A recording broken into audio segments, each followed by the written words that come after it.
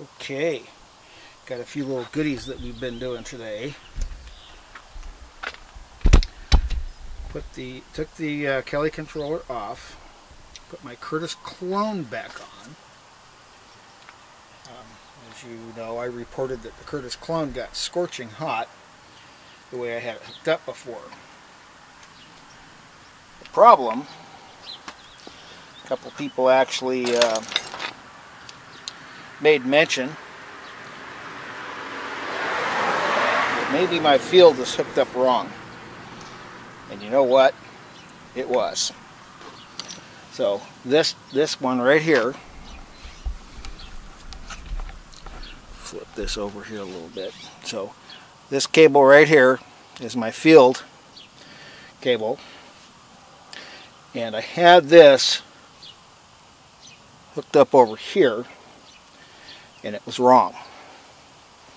Causing uh, what what they were saying is a feedback um, basically plug braking feedback. So I put it where it's actually supposed to be and um, just hooked everything up just like I'm supposed to. Um, the long one is, is, is the battery shunt We've got that hooked up. And below I have the amp gauge. Got the controller. And we're to kind of zoom in a little little bit here that I can do. Can't do a whole lot of Okay, so I'm back after uh, recharging that battery. Um, actually, just put a new battery in because I have a whole bunch of them. Um, there's the the motor and its terminals. So this is the motor negative, uh, motor positive, um, field positive. Um, this one here is the same as this one here. It's just connected in a different spot. We use the center post here. Um, I can use the C terminal, but we don't on this particular motor. It's not necessary. Um, I have a terminal strip, very basic um, terminal strip. Have uh, pack voltage to this and fused at a uh, 1 amp fuse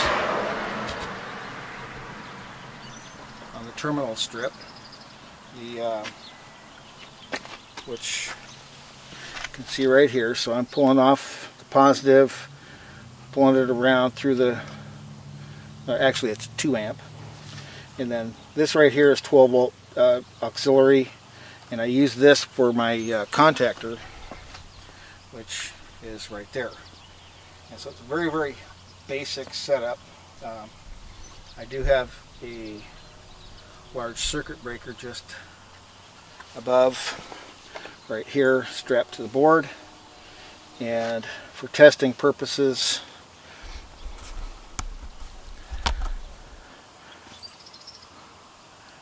for testing purposes I have the um, throttle. So so my little throttle pot here just wanted to show. So Put my circuit breaker on.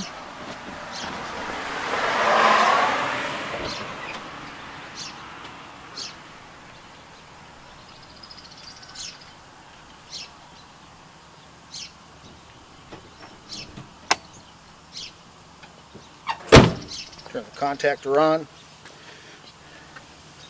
So the motor's got a little clunk in it. Um, it is an alignment issue or um, flywheel balance issue that I'm going to deal with. But we're just making sure the motor runs without getting hot. Um, for just a few minutes that I ran this thing last time, the motor got pretty hot, actually quite hot, but the bottom side of the controller was just scorching hot. And now, um, I've been playing this with this for quite a while, and, uh, and it hasn't gotten hot at all. Motor's warm, uh, controller's not even warm. So here we go. We're going to bump this up.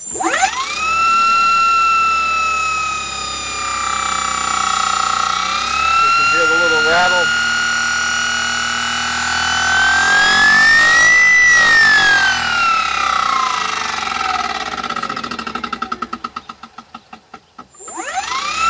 Not sure what that is yet, but we'll, we'll figure it out. Something's loose.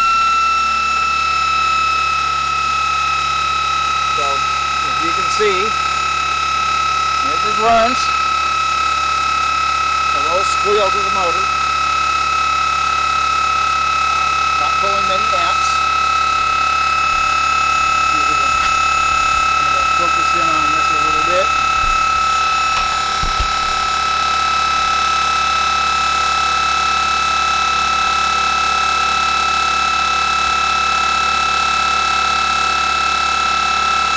This is motor amps.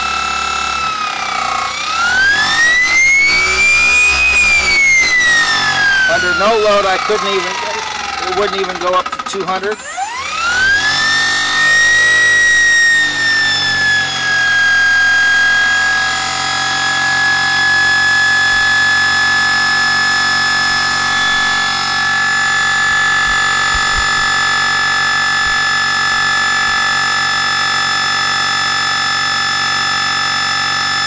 Out of focus, kind of focus on that. That's about where that's at. I'm going to shut this off.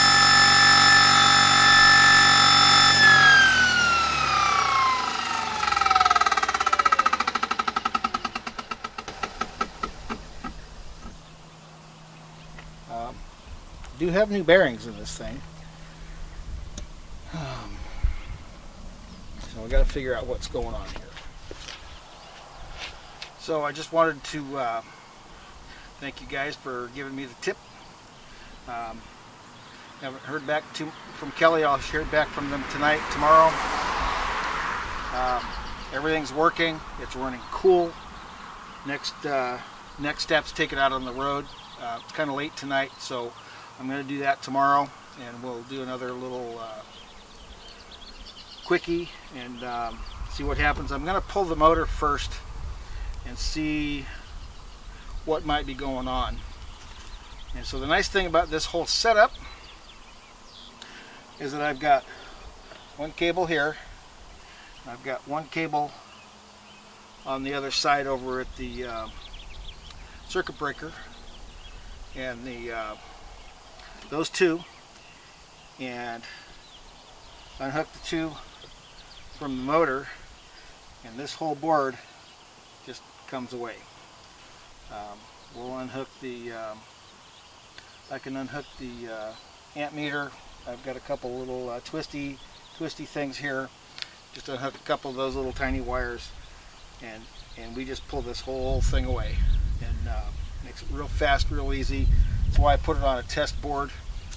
Um, it's a good idea when you're playing with things to have things quick and easy so you can get uh, things in and out um, as needed. And since we've been messing with different controllers, um, we've got little holes in here for the uh, controllers just to screw them onto the plywood.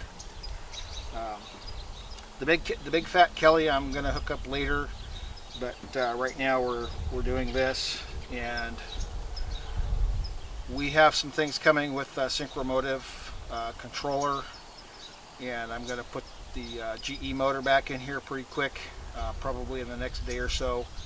And we've got some little little things that we're going to do. We're going to do a little video demo once I get that hooked up. um, we know the Synkro works and the GE motor works fine. Um, I just wanted to see how well this worked, and um, I'd actually like to see what kind of performance I get out of this little motor this time versus uh, last time. And, uh, and I think that's about it. That's just a real quick rundown, just to let you know. Controller is just rock solid cold. Uh, it's not heating up at all in the time that I've been messing with it. Uh, motor is a little bit warm, but not terrible bad. So I'm going to shut this down and we will be back later.